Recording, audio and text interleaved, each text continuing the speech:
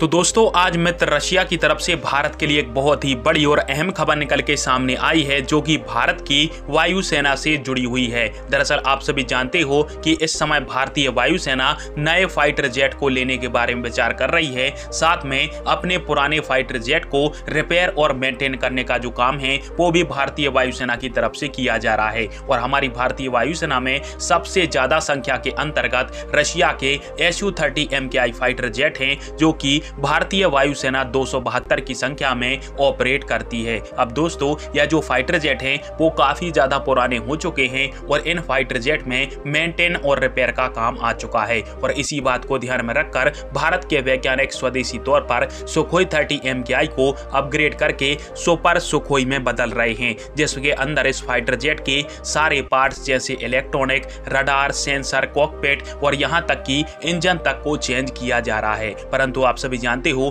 कि भारत अभी इस समय इंजन को नहीं बना सकता है। और भारत की इसी समस्या का समाधान करते हुए भारत के मित्र रशिया की तरफ़ से भारत को अपने advance A L forty engine का ऑफ़र किया गया है। अब दोस्तों, आप सभी को बता दूँ कि अभी तक सुखोई थर्टी एम के अंदर ए एल थर्टी वन नाम का इंजन उपयोग किया जाता है, जो कि काफ़ी पुराना हो चुका है और कुछ इंजन की जो लाइफ है, वो भी खत्म होने की कगार पर आ चुकी है। इसलिए सुपर सुखोई प्रोग्राम में सबसे पहले सुखोई थर्टी एम के इंजन चेंज किए जाएँगे और इसमें मित्र रशिया भारत की मदद करेगा और भारत के लिए अपना एडवांस ए एल जो इंजन है, जिसका जो थ्रस्ट है वो 130 किलो न्यूटन का है, वो भारत के लिए देगा ताकि भारत का सुखोई थर्टी एम के आई पूरी तरीका से एक चार दशमलव पांचवी पीढ़ी का सुपर सुखोई फाइटर जेट बन पाए, जिसमें रशिया अपनी जो मदद है वो भारत के लिए प्रदान कर रहा है। वैसे इसके जो अन पार्ट हैं, वो भारत के वैज्ञानिक और प्राइवेट सेक्टर की कंपनियाँ स्वदेशी तौर पर चेंज कर रहे हैं ताकि सुखोई थर्टी एम को एडवांस से एडवांस उपकरण और लीथल से लीथल हथियार से लेस किया जा सके और भारतीय वायुसेना सुपर सुखोई प्रोग्राम के तहत कम से कम सौ की संख्या में सुखोई थर्टी एम को चार दशमलव पांचवी पीढ़ी के सुपर सुखोई में तब्दील करेगी।